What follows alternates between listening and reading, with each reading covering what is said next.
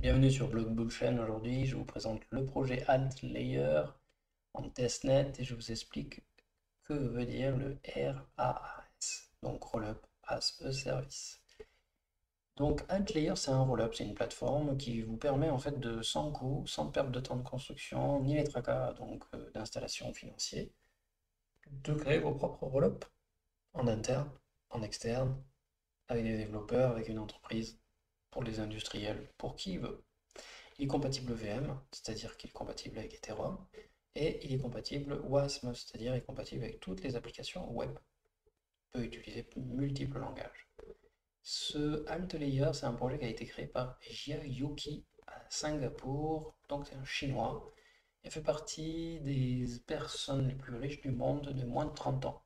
Donc Xiaoki, c'est pas n'importe qui. Il a travaillé pour donc euh, Zilliqa, où il était euh, CTO et cofondateur du projet Zilliqa. Autant dire qu'il sait de quoi il parle.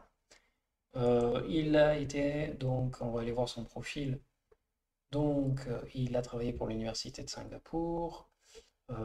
il a donc lancé Alt Research et le réseau Altlayer Network où il a aussi travaillé pour Parity Asia, quand même. Parity Asia, c'est pas n'importe qui, c'est Polkadot. Et euh, entre autres avec euh, Open Ethereum aussi.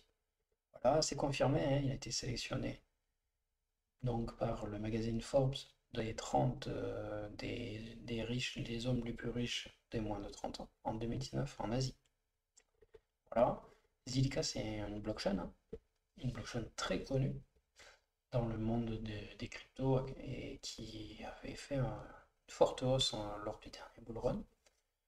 Voilà, donc c'est pas un petit joueur le gars, il sait de quoi il parle, il est spécialiste, donc euh, c'est un docteur en sécurité informatique. Il son intérêt c'est la sécurité de la blockchain, la sécurité des systèmes distribués, la sécurité des réseaux et la sécurité et la vie privée dans le web. Donc là quand même, on a quelqu'un de très compétent. Il a lancé Alt Research, c'est son dernier petit bébé. Et donc on va aller voir à quoi ça correspond, c'est des roll-up sur le cloud. Vous pouvez customiser donc, euh, vos roll-up en utilisant la sécurité des Layer 1, d'accord? Donc, euh, et ça sans, savoir, sans avoir à coder. Si vous devez coder, c'est parce que vous avez un développeur qui va faire quelque chose de spécifique, adapté aux besoins que vous avez. Donc voilà, euh, donc la flexibilité et l'élasticité des rollups à, s'adapter à des besoins d'application. Il n'y a pas de code à faire si vous voulez interagir avec la plateforme. Des coûts vraiment euh, très très très bas puisque tout est automatisé sur la plateforme.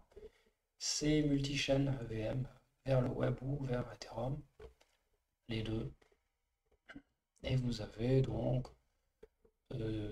100 euh, 000 transactions. Voilà c'est quand même euh, utilisé dans la défi, créé pour des minter des NFT, euh, pour BNB, pour Polygon.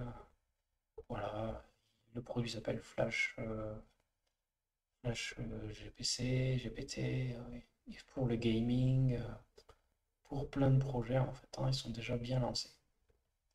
Vous pouvez l'essayer ici, plateforme, d'accord, on ira voir ça tout à l'heure.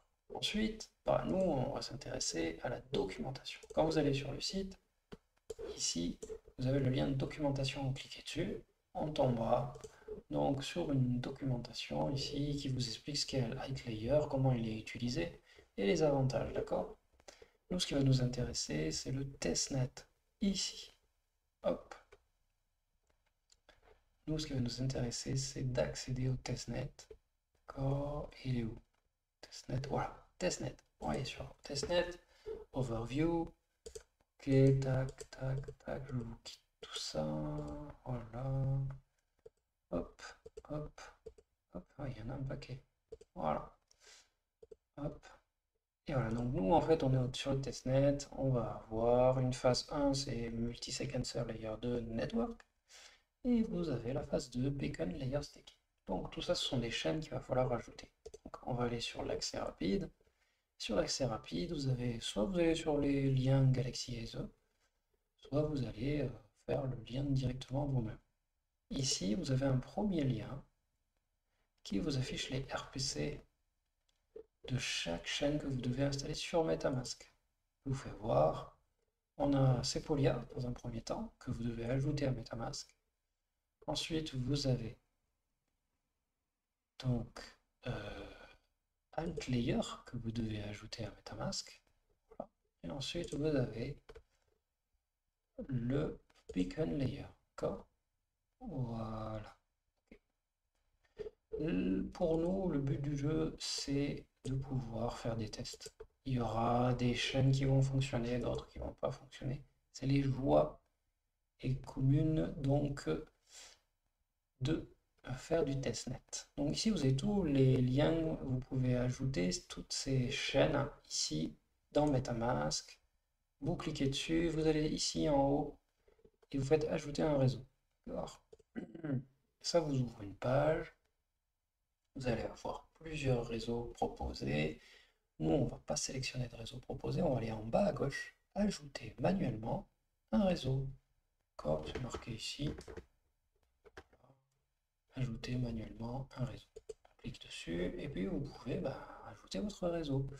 Depuis la documentation, vous avez l'RPC, la chaîne ID, le token symbole, l'explorer et le décimal. Ça, c'est des informations copiées, collées ici et vous faites enregistrer.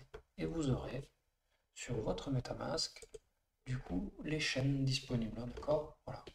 Donc euh, à vous de à vous de voir euh, pour inclure euh, donc toutes ces chaînes. Vous avez la possibilité aussi pour inclure des chaînes d'utiliser chaîne-list ici que je vous mettrai en description.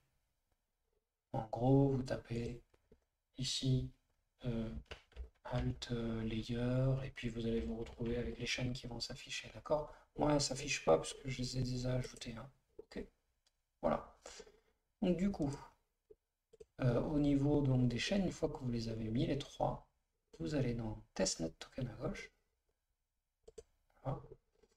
Et vous pourrez donc faire vos tests, d'accord? Donc Testnet... Euh, à gauche, token, ça vous permet vraiment, euh, bah, ça vous permet en fait de pouvoir récupérer du l'Ethereum Sepolia sur votre navigateur. Je vous conseille d'aller sur sepolia.com. Voilà, vous vous connectez ici, vous faut un compte. C'est Alchemy qui fait ça. Et puis dans votre MetaMask, vous cliquez ici sur l'adresse publique que vous collez ici. Vous n'êtes pas un robot et vous envoyez vos ETH et vous recevrez dans votre MetaMask des Sepolia ici. Ok? Indispensable pour faire le test.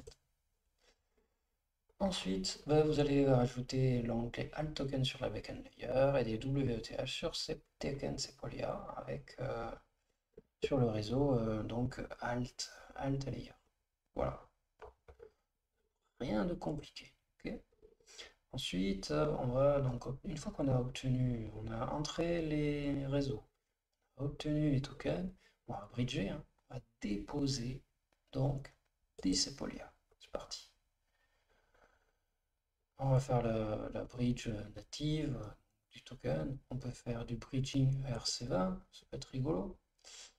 Et ils nous disent d'aller sur Roller Bridge. Donc on va sur Roller Bridge, hein, tout simplement. On y va le temps que ça charge. Voilà. Ok. Donc on va faire du dépôt. On va utiliser nos Sepolia Ethereum et on va aller déposer du multi-sequencer testnet L2. Vous voyez, je l'ai fait, j'ai déjà du 002. Pour vous, je vais rajouter une nouvelle fois, pour le bien de la vidéo, de nouveaux tokens testnet sur multi-sequencer testnet L2. Et il me précise effectivement que hein, le réseau, vous voyez, hop, le réseau est occupé. Et oui, parce qu'il y a beaucoup de gens qui doivent faire comme moi. Et donc, nous, on va faire le nécessaire pour confirmer la transaction et que ça puisse en déposer de l'Ethereum sur le multi-sequencer layer 2. Et donc, quand vous allez sur le réseau MetaMask et vous faites Alt Layer Testnet, ici, bah, vous avez des petites Ethereum qui s'affichent tout à l'heure, on aura 0,031 qui s'affichera. Donc une fois que la, chaîne aura fini son transfert. voilà. Euh, ensuite, on va aller faire du bridging, on va le retirer.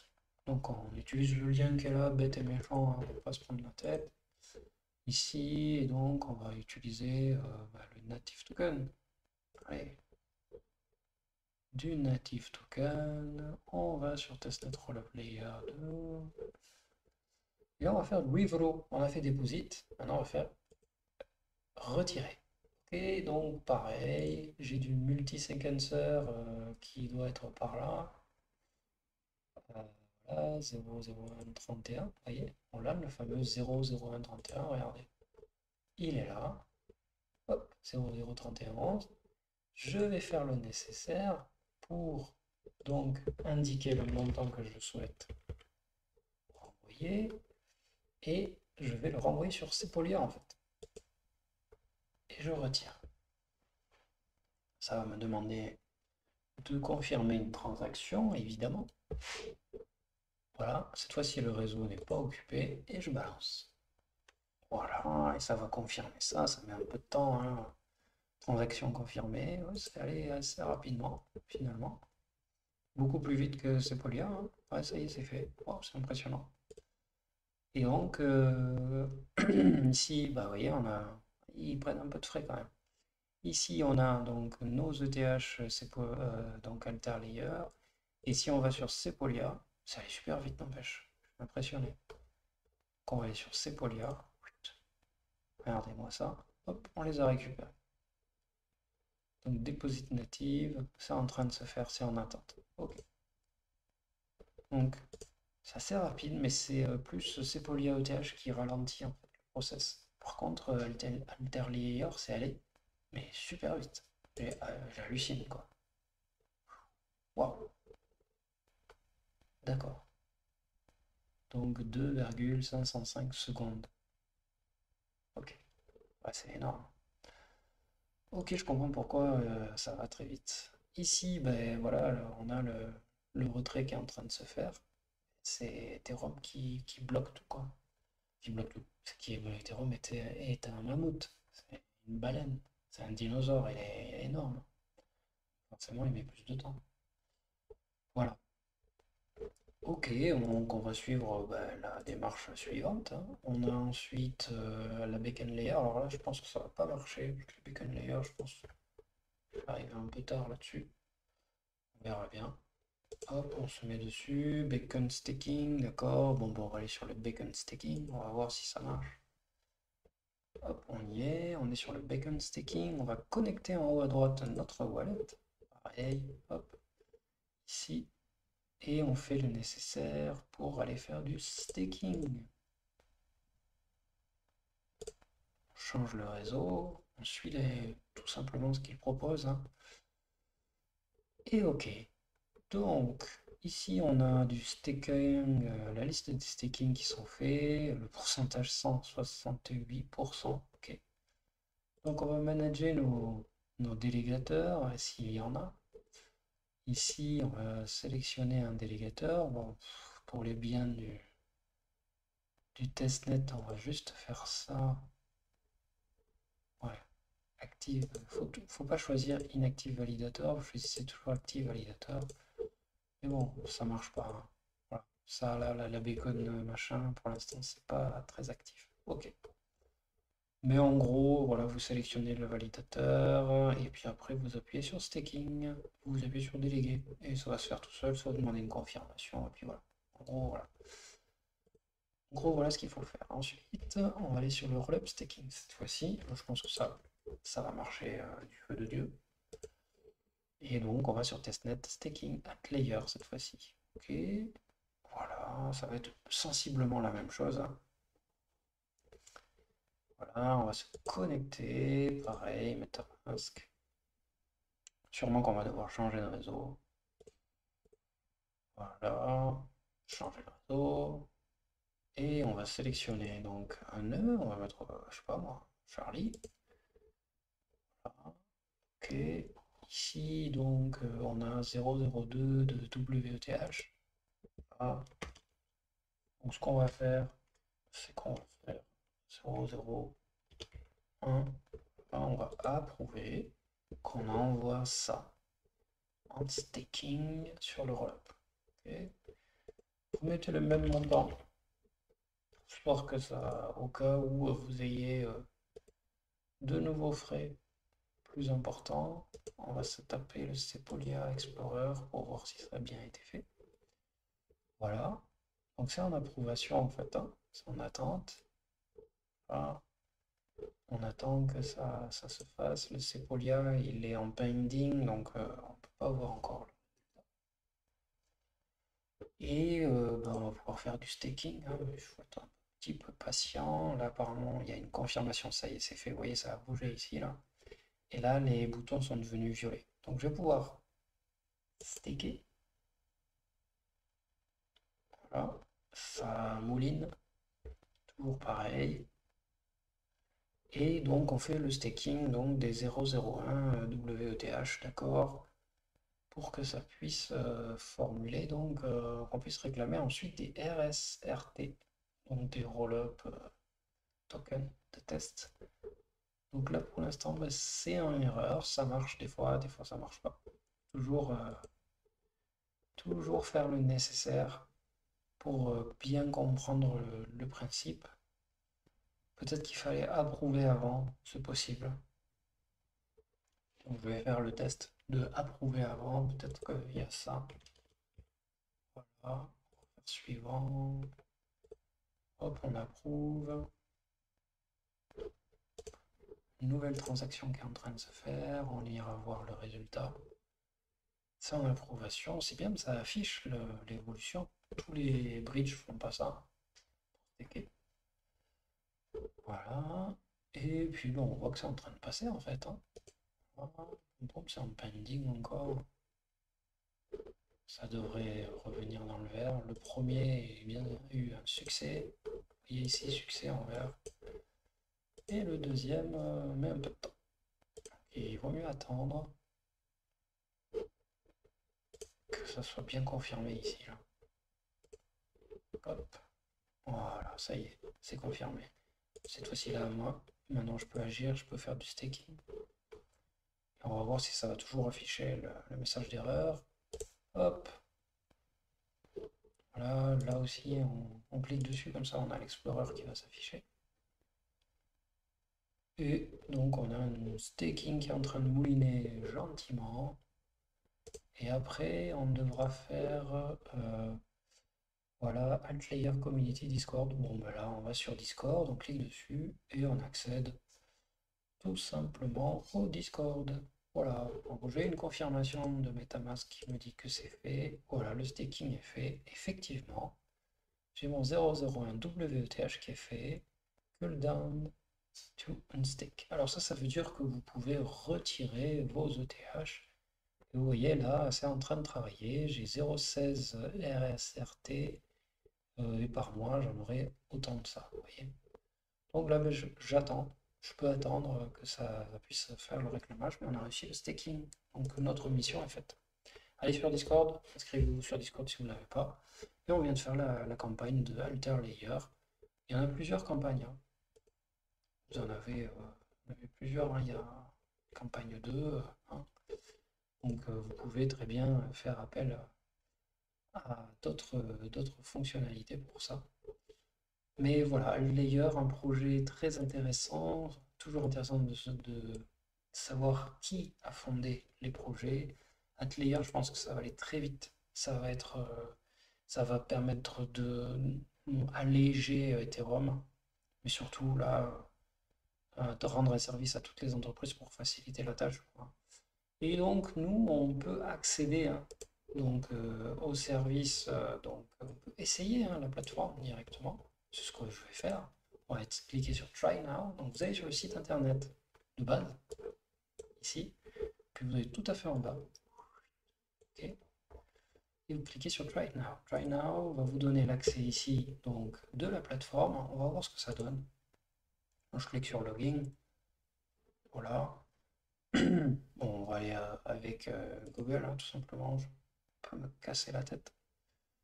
Donc Block Bullchain qui s'occupe de ça. Et on va se connecter au tableau de bord de Alt Layer.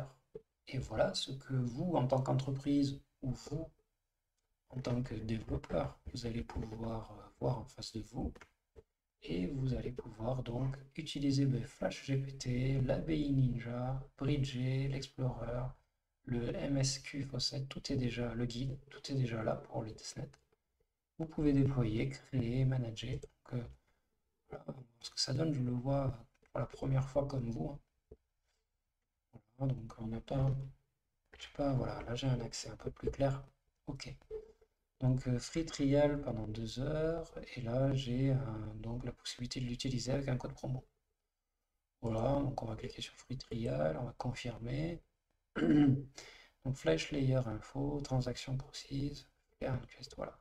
Plus qu'à saisir en fait ce que vous souhaitez saisir ici, hein, voilà. Et ensuite, bah, vous n'avez plus qu'à faire euh, donc créer. Et voilà, je pense que vous allez créer euh, votre premier roll-up, euh, voilà.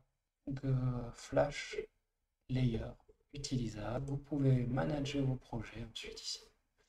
Utiliser un IDE donc pour coder directement. Ça se charge, ça marche bien. Hein. C'est pour quelque chose qui est en testnet, ça marche super bien. Bien sûr, ça fait un peu de temps. Hein. Mais voilà, voilà la plateforme euh, de euh, Altlayer. Très beau projet. Euh, j'ai pu le tester, c'est très rapide. Bien plus rapide que Sepolia et Ethereum. Mais bon, c'est normal. donc Altlayer n'est pas encore utilisé en masse. Quoi. Eh bien, merci d'avoir écouté cette vidéo de cette belle présentation. Je pense que les layers, les rollups vont être le futur des blockchains. on en parle beaucoup la modularité aussi. Donc euh, là, il y a quelque chose qui se passe dans le, domaine des blockchains, c'est tout nouveau. ça va remplacer les... Euh, ça va pas remplacer les layers 1, mais leur utilisation sûrement. Euh, voilà. Merci d'avoir écouté. Vas-y, je vous présenterai un nouveau projet dès que j'en ai un qui, qui en vaut la peine. Et j'espère que ça vous a plu. Lâchez un pouce, abonnez-vous et je vous dis à très bientôt.